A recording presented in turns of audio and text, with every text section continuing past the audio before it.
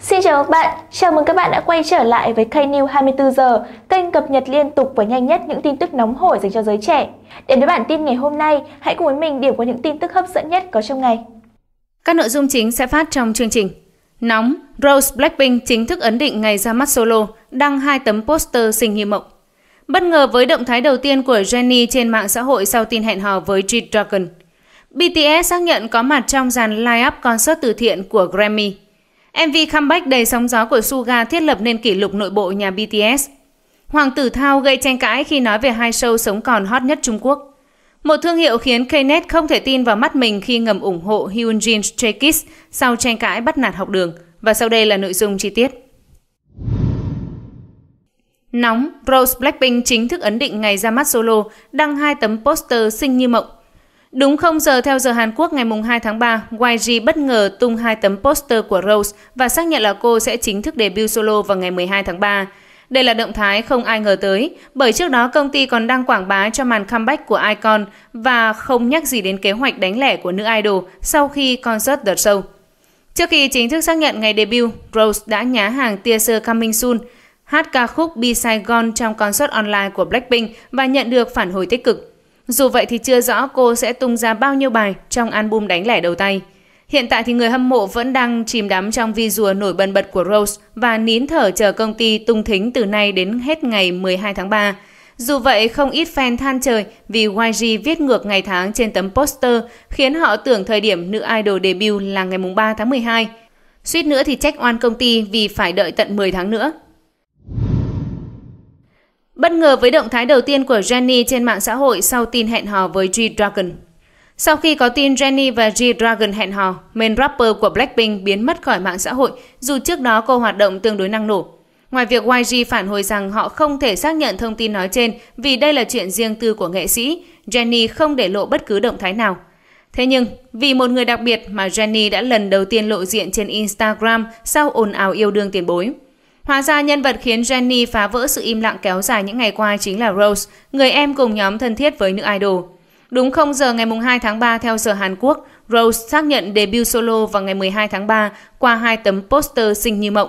Đây là sự kiện trọng đại trong sự nghiệp của main vocal Blackpink, do đó Jennie chẳng ngại dành hẳn hai story để cổ vũ cô em, bất chấp việc là cô đang là tâm điểm của sự chú ý. Jennie đăng lại poster của Rose không lâu sau khi YG tung ảnh. Cô tác tài khoản của bông hồng nước Úc vào cả hai bức hình. Tấm đầu tiên nữ idol còn để biểu tượng là ba ngọn lửa bùng cháy. Không biết jenny ám chỉ màn solo của Rose rất là hot hay là tình yêu rực lửa mà cô dành cho người em thân thiết đây.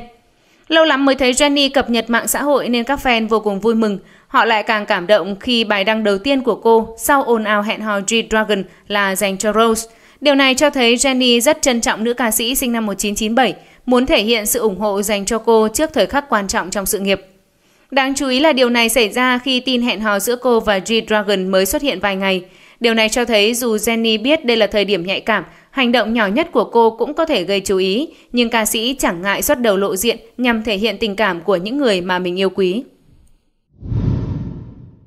BTS xác nhận có mặt trong dàn live up concert từ thiện của Grammy.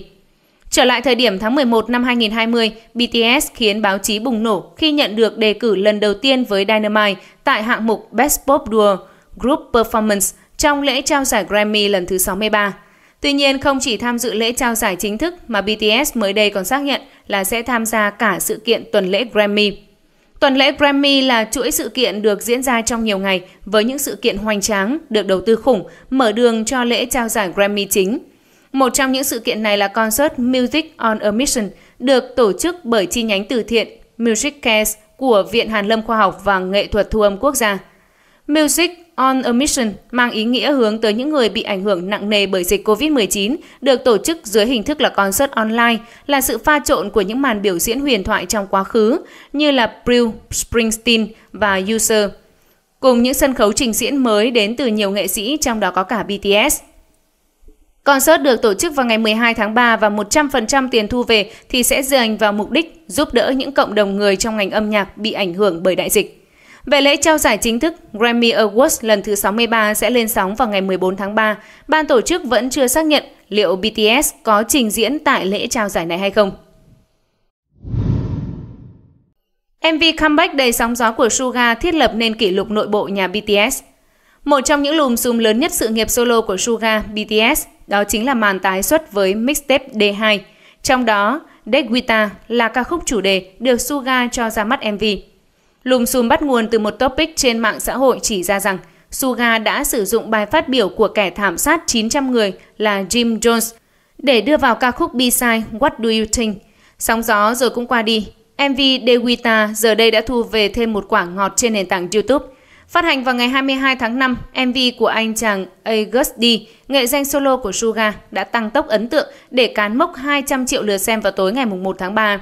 Đây là MV đầu tiên trong sự nghiệp solo của Suga đạt được thành tích lượt xem này. Cột mốc 200 triệu lượt xem của Dewita leo hẳn lên top 1 trending toàn thế giới. Được biết là ARMY, cộng đồng fan BTS đã tích cực cày view để có thể mang đến món quà sinh nhật ý nghĩa này cho Suga. Với thời gian hơn 9 tháng, thành tích này đã giúp Suga thiết lập kỷ lục mới trong nội bộ BTS. Dewita trở thành MV solo đạt 200 triệu lượt xem nhanh nhất đối với một thành viên của BTS. Chúc mừng thành tích ấn tượng mà Suga bỏ túi trong sự nghiệp solo của mình. Hoàng tử Thao gây tranh cãi khi nói về hai show sống còn hot nhất Trung Quốc. Vào tối ngày 28 tháng 2, Hoàng tử Thao tham dự một sự kiện và trả lời nhiều câu hỏi phỏng vấn của truyền thông.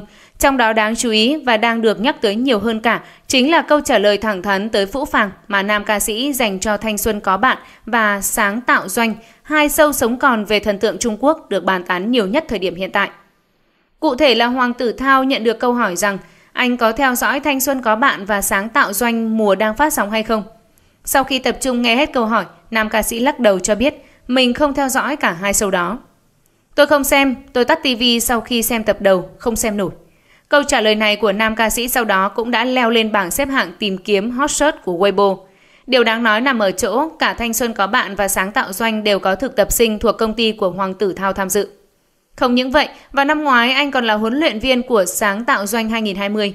Bởi thế câu trả lời không xem nổi của nam ca sĩ bị nhận xét là thiếu khéo léo và tinh tế.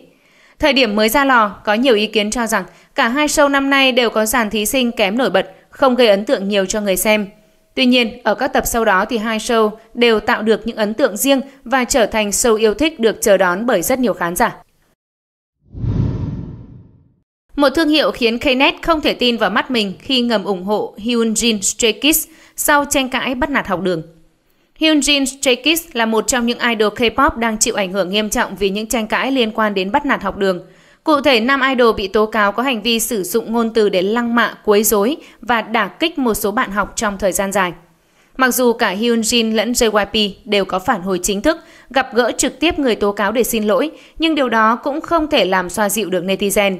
Ảnh hưởng của vụ việc nghiêm trọng đến mức hiện nay Hyunjin đã phải tạm ngưng hoạt động cùng nhóm. Dù vậy, nhiều Knet cho rằng JYP nên để Hyunjin rời nhóm để tránh ảnh hưởng đến Stray Kids. Một ví dụ điển hình cho việc này là gần đây thương hiệu mỹ phẩm Clio mà Stray Kids làm đại diện đã xóa sạch hình ảnh của nhóm trên các nền tảng mạng xã hội chính thức. Phía thương hiệu cho biết họ vẫn đang thảo luận về tranh cãi của Hyunjin, nhưng không phủ nhận rằng lần này nam idol đã khiến hình tượng của Stray Kids lao đao. Nhiều fan rất bức xúc khi thấy Clio lại có thể nhẫn tâm đối xử với Stray Kids như vậy. Theo họ, đây có thể là tranh cãi của riêng Hyunjin, nhưng các thành viên còn lại thì không hề có tội. Tuy nhiên, nếu biết đến trường hợp sau đây của một thương hiệu khác, thì có lẽ mọi người sẽ hiểu được vì sao Clio lại phải gấp rút bỏ của chạy lấy người như vậy. Theo đó, một Knet đã phát hiện ra có một thương hiệu mà Stray Kids cũng đang làm người quảng bá, đã nhấn like lá thư tay xin lỗi của Hyunjin được đăng tải trên Instagram của nhóm. Vốn dĩ việc nhấn like đã khiến Knet vô cùng khó chịu bởi đối với họ đây chẳng khác nào là động thái ngầm ủng hộ Hyunjin trước scandal bắt nạt. Tuy nhiên sau khi biết tên thương hiệu, làn sóng phẫn nộ và đòi tẩy chay lại càng dâng cao hơn nữa bởi đó chính là Ivy Club. Ivy Club là một trong những thương hiệu đồng phục học sinh lớn nhất và nổi tiếng nhất Hàn Quốc. Knet cho rằng việc thương hiệu này nhấn like bài đăng của Hyunjin cũng hệt như cách họ thể hiện sự ủng hộ đối với một học sinh từng bắt nạt bạn bè. Cũng có những người cho rằng là Ivy Club có thể trượt tay nhấn like, nhưng phần đông đều cho rằng thương hiệu này đang chỉ cố gắng làm điều đó vì nghĩ rằng sẽ cứu vãn được người mẫu đại diện của mình. Dù vậy, hành động này lại khiến cho netizen càng có ác cảm và kêu gọi tẩy chay Ivy Club. Cảm ơn các bạn đã quan tâm theo dõi video. Hãy để lại ý kiến đóng góp của các bạn thông qua phần bình luận bên dưới nhé. Đừng quên nhấn đăng ký kênh và bật chuông thông báo để luôn được cập nhật những tin tức hấp dẫn nhất có trong ngày đến từ Knews 24 giờ.